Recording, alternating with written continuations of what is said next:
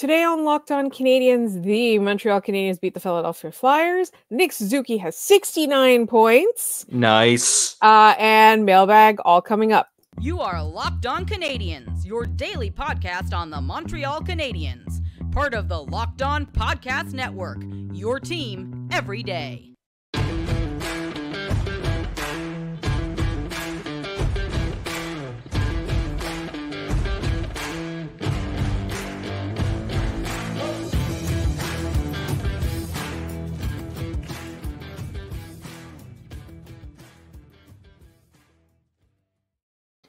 Hi everyone, and welcome to episode 1040 of your first listen of the day every day as part of the Locked On Podcast Network. And today's episode is brought to you by FanDuel. Make every moment more. Right now, new customers get $200 in bonus bets with any winning $5 bet. That is 200 bucks if your bet wins. Visit fanduel.com slash locked on to get started. My name is Laura Sab, also known as the Active Stick, and I'm joined as always by Scott Matla. And Scott, how many points does Nick Suzuki have? Ladies and gentlemen, uh, and those who, you know, identify as whatever, is that Nick Suzuki, and this is a very important milestone. This is more important than anything else we have talked about this season yes, Slafkovsky has a record for the most points by a teenager in Canadiens history, and he added to that tonight. And yes, Nick Suzuki set a new career high in points in the last game. And yes, and yes, et cetera, et cetera. Nick Suzuki has 69 points, and that's the most important stat of this entire season until the draft lottery comes in, and then we worry about that. But for right now, let us all bask in the niceness of Nick Suzuki and his incredible season and for the fact that his second goal of the night was wiped out on a high stick, or else this entire bit uh, would be very stupid right now. So uh, it was fun. Tonight was fun. Everyone had a good time, except for Flyers fans, but I think all the Habs fans, for the most part, had a pretty good time tonight. Um, yes, and I will say real quick, uh, that is a very nice point total uh, from Nick Suzuki. In fact, it's so funny because Scott and I were checking the scores and being like, "Are we sure he didn't get any other assists that we didn't know about?" Um, just to make sure that we could stick with our uh, 69 point. Here's the thing: I do want to talk about it legitimately, though, officially or whatever. Um, is that Nick Suzuki has has hit his career high in points, um, and there were some that say, or there are some that say, that in order for him to be a legitimately elite player, he needs to hit 80 points in a season. And I don't know that that's necessarily true because I think he still has time. And also, his line mate, Cole Caufield, needs a little bit more to get going in order for Nick Suzuki to hit those totals. It's not just like he's not just a one man player on the ice and that's the thing is it's like everyone uh, and i i apologize because i'm not 100% sure who mentioned this but they were like it is great that Slafkovsky is taking that next step and that Cole Caufield is developing a more rounded game. He has 55 points on the season in 71 games played. It's not bad. No, those are fantastic numbers.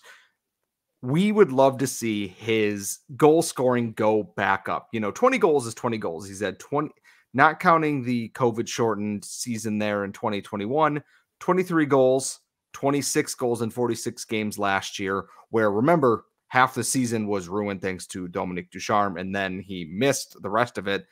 20 goals, 35 assists this season. He's finding a lot of balance in in this season so far, which and is it's fantastic. not nothing. It's not nothing. And that's exactly it. Is that Caufield can still it would take a really good goal st- scoring streak to end the year to hit 30 goals. It's mm-hmm. not impossible. We've seen him do it, but he's still shooting 7.4%, which is way lower than his like shooting average. Uh, also, I think I think Nick Suzuki he just has to be a point per game now, right? To to hit 80. Uh, I let's see. No, there are 10 games left after this, so he needs so just over a point per game to hit 80 points. Right. Which is not unheard of. Like that's Nick Suzuki hitting 80 points this season would blow my mind. Uh, right. Because I really didn't think without Kirby Dach they'd be able to do it. Uh, I I am so impressed, and it's funny is that I want to talk about the goal he didn't score tonight because comes in, puck comes up, it gets batted in front of Samuel Ersson, and he hits it just, and I mean just barely above his shoulder to knock it forward and then below the crossbar knocks it in. That if the goal had counted in any way, shape, or form, one, John Tortorella would have exploded on the spot, and two, Nick Suzuki would have scored, scored a top five goal in Montreal Canadiens history with that. I don't think I'm saying that lightly. That if that goal, if he had managed to keep it down below his shoulders before he deflected it in, would have been incredible. You know, we saw Sidney Crosby do it to the Canadiens years ago. and I'm not saying Nick Suzuki is Sidney Crosby, but my God, the talent to pull that off. This was a game that had so much out of nothing that we didn't know what to expect of it. Mm-hmm. And just got uh, it was fun. Even if yeah. they lost this game, I had fun watching this team play. Which you know what? I'm not going to look at the numbers as I look at the numbers here, but, but, they did. Like they didn't lose. That's the thing. Like even if they had lost, it was it would have been entertaining. And I think part of it is because the shenanigans didn't go way off the rails, which is something that usually does happen in Flyers games.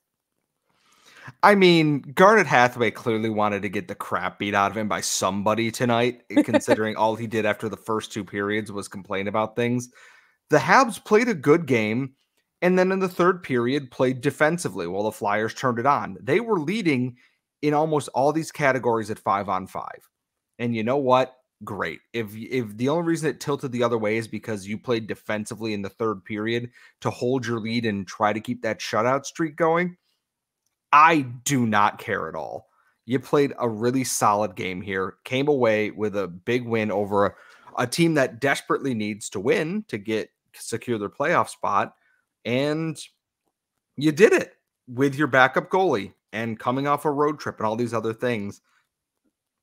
A really solid. I like. I'm. I have no complaints about the Canadiens game tonight. Like nothing at all. It was a very fun, enjoyable game. I'm just looking at the numbers here. They're not terrible. The, you know, Caufield and them kind of got beat up a little bit there, but they're playing tougher minutes, you know. Right. And one day there will be depth and they won't need to. And that's the thing. like they won't need to do this. Like this is like this is what they're pulling off in a less than ideal season. So I'm still going to draw positives from this game. And, you know, once in a while, you just need to enjoy a hockey game. Like, there's really no fun in watching a game play, uh, watching a team play boring hockey or struggle just like, you know, consistently all season shout out to our friends in the group chat.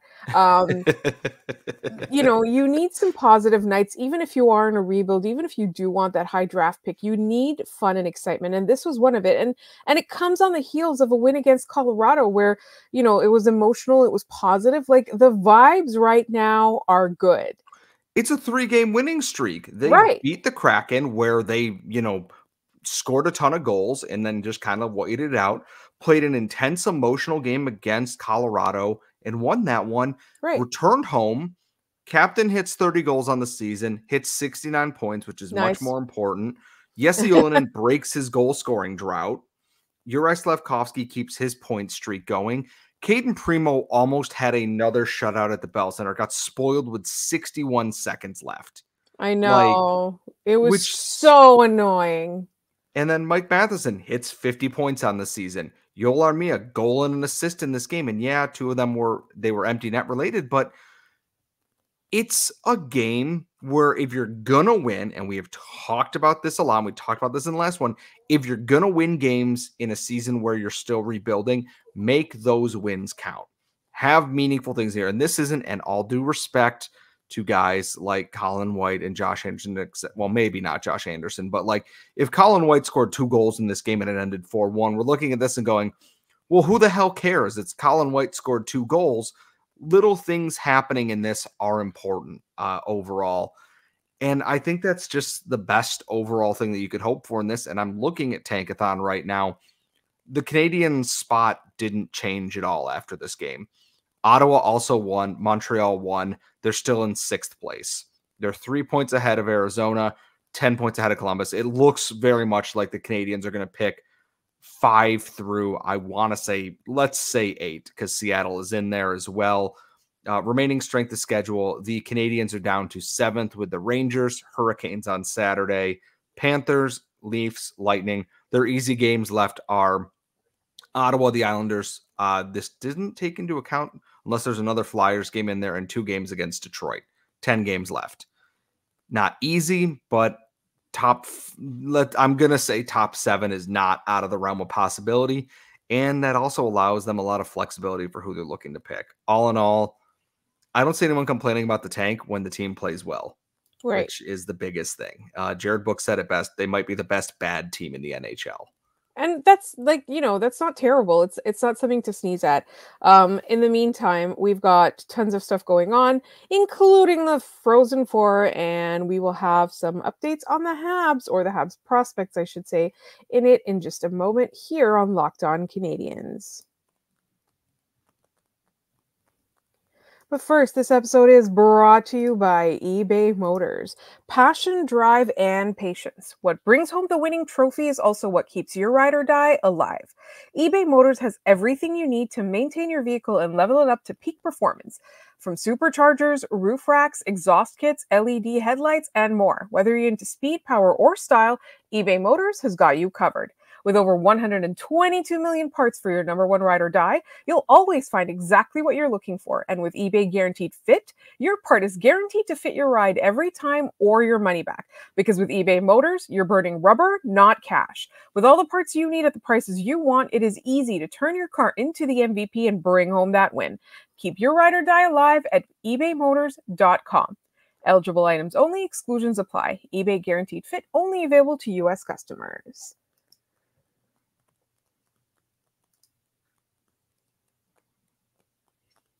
All right, before we get into our Friday mailbag, and we do have one this week, um, we have been, you know, moving around our schedule this week a little bit.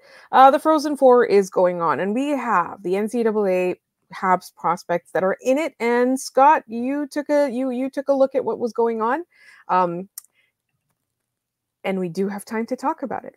I was to say, I hope so. We that's how we planned out the show. Uh, at the time of recording this, there was still one prospect left. Pl- or I did it again. There are two prospects left playing in the Minnesota. Did you forget game. one of the Lukes? Yeah, I forgot Luke Mittelstadt again. Um, Rhett Pitlick and Luke Mittelstadt are playing against Omaha right now. It is tied one-one going into the third period.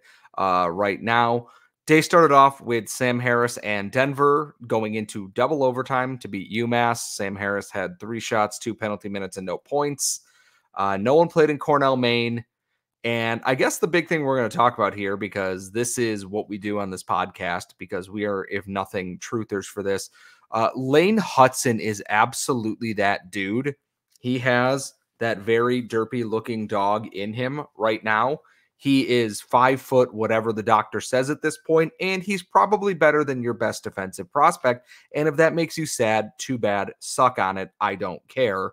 Uh, Boston wins 6 3 over RIT, which one, I was, I said this on the show and I said this on Twitter. I was rooting for RIT. They are my hometown team, and I want Lane Hutson in a Montreal Canadiens jersey as soon as possible. Uh, to say that the tone was set by Hutson in this game is uh, underselling it because the first goal of the game was Lane Hutson toe dragging an RIT Tiger so deep into the ice they had to call out somebody to uncorkscrew them uh, as he opened the scoring uh, 11:56 into the game. He collected another assist on Sam Stevens' goal in the second period. He's that guy. I like I don't know what else you can say. He plays so many minutes. He plays so well. He puts up points. And when the lights are brightest, Lane Hutson just puts up points. You know, what can you even say? We're running out of adjectives to describe Lane Hutson now. And I think that's probably a good thing. He is just so beyond words incredible right now. Scott, what do you say to the clickbaiters who say that he's not going to amount to much in the NHL? Uh, we heard the same thing about Cole Caufield and how Nick Robertson or whomever was better than him. And uh, to that, I say also, you can redacted um, because I've already said that once, and I'm not going to push our uh, editing limits on this podcast. You don't know that he's going to do these things. Oh, he's small. What he could never possibly make it. Yes, because small people have never been successful in the NHL. Hey, who's the Montreal Canadiens coach right now? Can anyone tell me if he did anything uh, while he was playing in the NHL after being an undrafted, undersized free agent who played in the NCAA. I think he might have won a Stanley Cup or put up like a thousand points and gone into the Hall of Fame and a whole bunch of other crap. But please keep telling me about how players who are small and play with skill aren't going to make it in the NHL when bigger, slower, physical players aren't able to keep up the way they did. If you want to be a physical player now, you got to be able to keep up with everybody else because otherwise you're Ryan Reaves and you're useless. so just can't wait for the comments section on this one already. uh, it's going to be great. Uh, by the way, the winner of the Minnesota Omaha game will meet Lane Hutson and Luke Tuck on Saturday at 6:30 p.m. So that could mean an all Luke down between Luke Mittelstadt, Rhett Pitlick, Luke Tuck, and Lane Hutson in that game. Um, Denver will be playing, uh, I believe Maine beat Cornell. I didn't, or Cornell beat Maine in there. And that kind of wrap, well, and Jacob Fowler plays tomorrow at 2 p.m. against Michigan Tech. Uh, it is Good Friday, so go watch a good hockey goalie. Um, save like Jesus or something. I don't know. There's there was an allegory or a metaphor in here, and I just kind of lost the thread on that uh, because I drove back and forth across the state of New York today. uh, I've been talking for a while, Laura. I am so sorry. That's okay. The reason I brought up that Lane Hutson take was so that you would launch into a Matla rant. I'm not gonna lie. Our listeners have missed one. We haven't had one in a little bit. Um, so what's what's on tap next? You said uh, so Jacob Fowler plays tomorrow at 2 p.m. against Michigan Tech. Uh, if they win, they will play Sunday at 4 p.m. against the winner of Mich- or Wisconsin and Quinnipiac. Uh, Boston has already advanced. They will definitely play Saturday at 6:30. Denver will play Cornell at 4 p.m. on Saturday as well. Basically, everything is clicking through very, very quickly here. They will decide dates. I'm looking at the NCAA website. It says TBD uh, for days, but I assume that's partially because travel. There are teams that are in Rhode Island, in Maryland Heights, Missouri, in Springfield, Mass, and in Sioux Falls, South Dakota. That they're going to have to get them to the Xcel Energy Center, and depending on how travel goes on that, uh, the last two rounds are in Minnesota. There, or in St. Paul, I should say, in the Twin Cities. Should be wrapped up relatively soon. I would imagine that they won't play through the end of this week. And by the end of next week, I would say probably by Friday, I assume all this will be wrapped up and we will find out how soon Lane Hutson is going to be here. Uh, and I guess Luke Tuck and maybe Rhett Pitlick and maybe Luke Mittelstadt uh, and probably not Jacob Fowler because he's a freshman and same with Sam Harris. Uh, OHL playoffs are underway. I have not had a chance to dive into that yet just because the Habs were on, and I only have so many screens that I can watch things on at once. Um, going into Monday, we'll we'll put together another small segment. We'll recap the game, do three up and three down, and we'll check in on uh, the prospect series there before we eventually have to start launching into uh, draft profile season, which we will start planning out uh, once the Habs stop being fun, which is not looking like it's going to be anytime soon. It'll be, yeah, I mean, there's only a couple weeks left in the season, right? So um, we do have some NCAA questions in the mailbag, but what we're going to do is we're going to get an NCAA focused scout uh, to be on. Like we do have our trusted friends that we that are our go tos, um, but we're gonna find a trusted NCAA person because there's a couple of NCAA related questions in the mailbag, particularly focused on uh, next year's draft or whether you know there's any free agents that are worth looking at. Um, before we move to our next segment, which will be the mailbag, I do have one mailbag question I wanted to bring up, um, and it's from our good friend Claude S. David Reinbacher, one goal in his first career AHL game. Scott, what took him so long? Customs. I I don't know what the I don't know how well because if he flew if he was going to play for Laval, I would assume he would fly into Trudeau. He wouldn't fly into whatever the hell the other airport in Montreal is. Oh, it's Mirabel, and I don't think like I think it's just a cargo. Um, I almost called it Billy Bishop, and I realized I'm like, no, that's, that's Toronto. Toronto. yeah, that's downtown so like Toronto. I mean, I know that getting to and from the airport in Montreal, thanks Trudeau, or whatever. I'm sorry. Let's let's appeal to conservative Twitter here. Uh, that I that I don't know how long it would take him, but I'm gonna blame customs in Montreal traffic for it. Yeah. Well, depending on you know um, how you know depending on traffic, uh, but it's it's not too far. Uh, anyway, we are going to get into our other mailbag questions in just one moment here on Locked On Canadiens.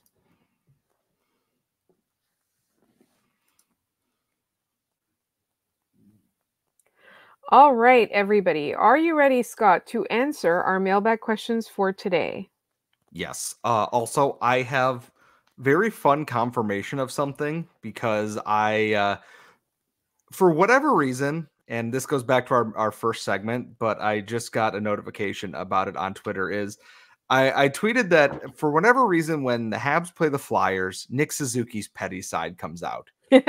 I got a reply that says, Yup, if you know, you know. Not just from any person, from Nick Suzuki's dad. What? And, and now I have many, many questions. Why does Nick Suzuki hate the Philadelphia Flyers so much?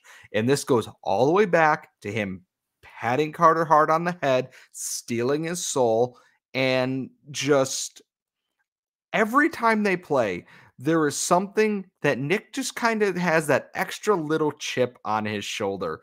And now that we have confirmation that there is clearly a reason why, I want to know what it is. I will also If you know take- what it is, tell us. We won't tell anyone. We won't post it on the podcast, but tell us what it is. I also eh, want your insane theories. Get completely like Pepe Sylvia unhinged with it and let me know what your theories are. Tweet us at LO underscore Canadians, lockdown Canadians at gmail.com. I want to know your insane theories because I live for that kind of stuff. You can also post it in the YouTube comments. Just don't use the YouTube comments as a personal vendetta, people.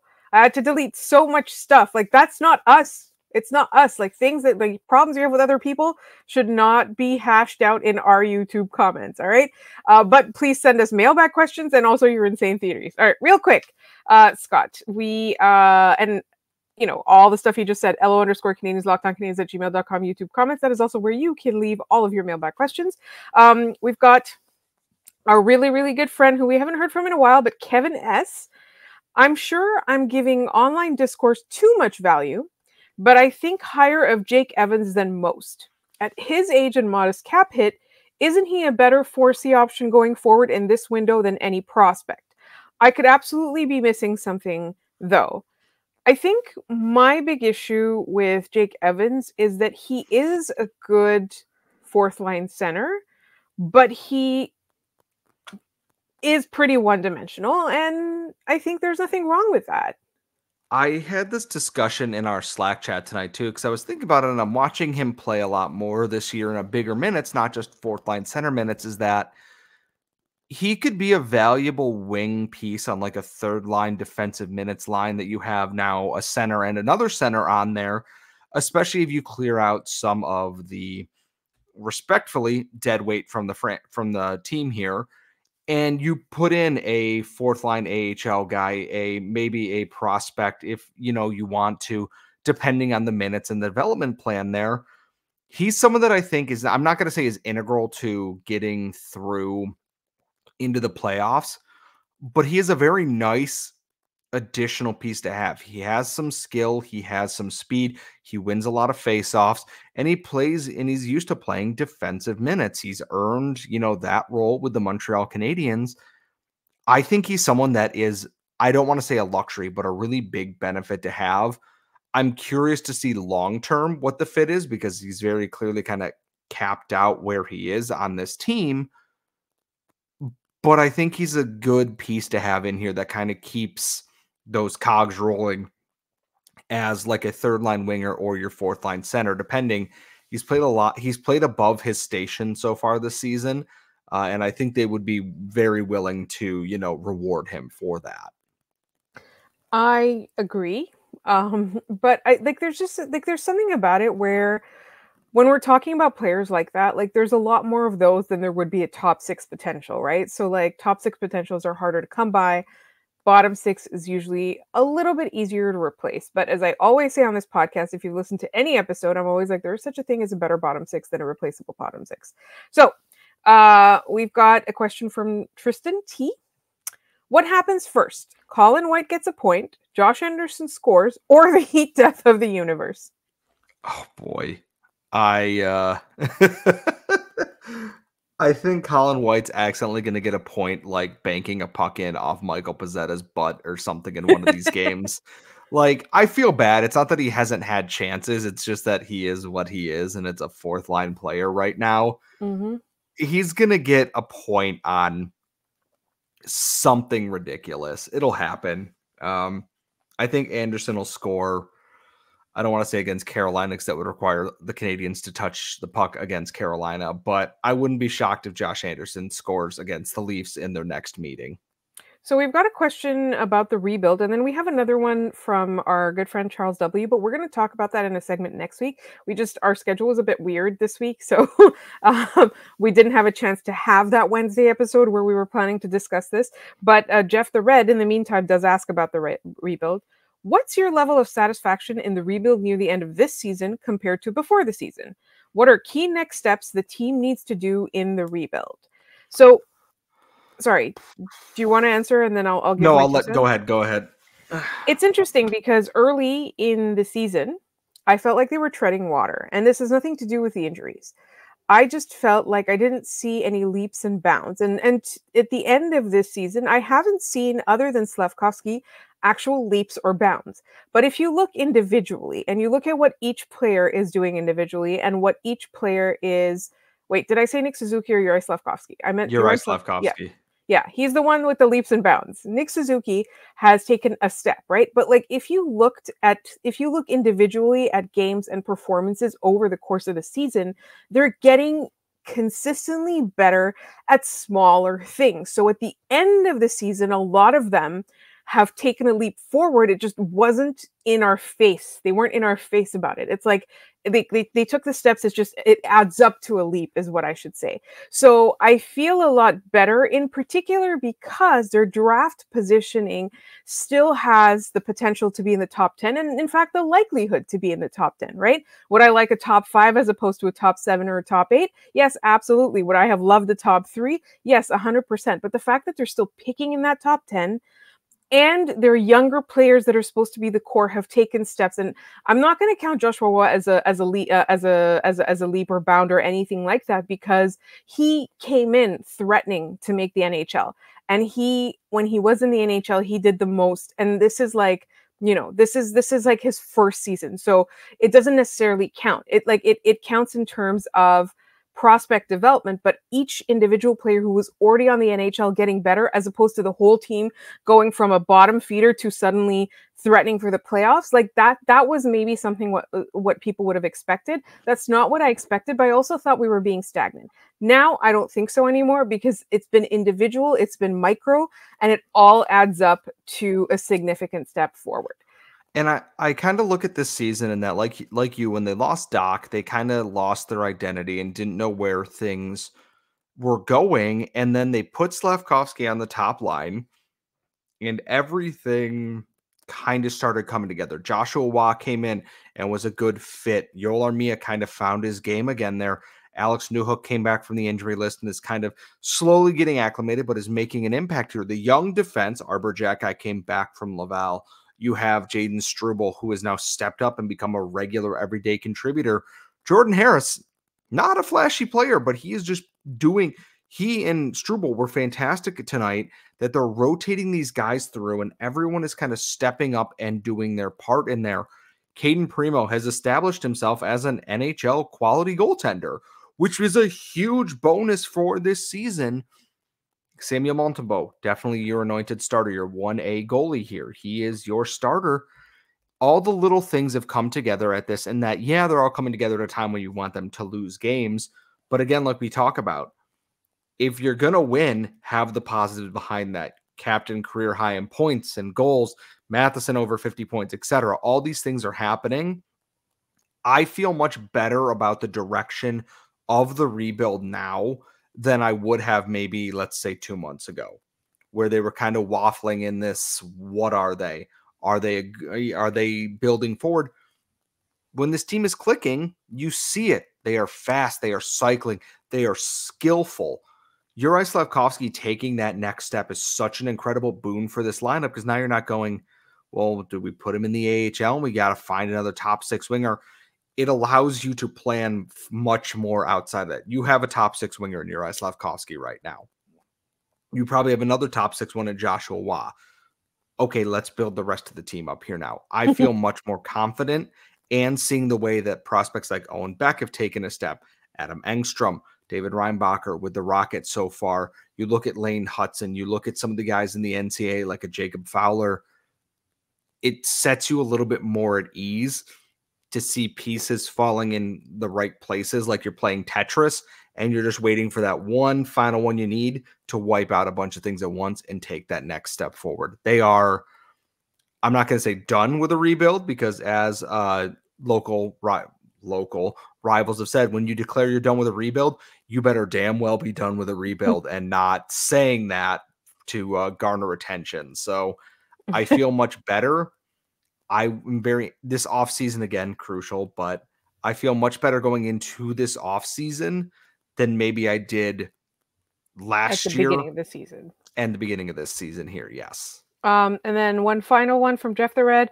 Any objectives you'd like to see any individual Habs meet by the end of the season? Nick Suzuki, 80 points. Yeah, Nick Suzuki 80 points. I would love to see if Slav could top 50. Uh Caufield 25 goals would be nice. Uh if Josh Anderson could break double digit goals, I'm not saying it would be impressive be, considering he's been getting paid what he is, but uh, it might feel good for him. I hope so. Uh, I would like to see that, and then I just want to see Lane Hutson in a Habs jersey, even if it's one game. I want to see it. And that's all for us for now. If you want to email us, you can at lockedoncanadiens at gmail.com. Check us out on Twitter, LO underscore Canadiens. Send us questions there too. Uh, also, the YouTube comments. Thank you so much for listening, and we will talk to you next time.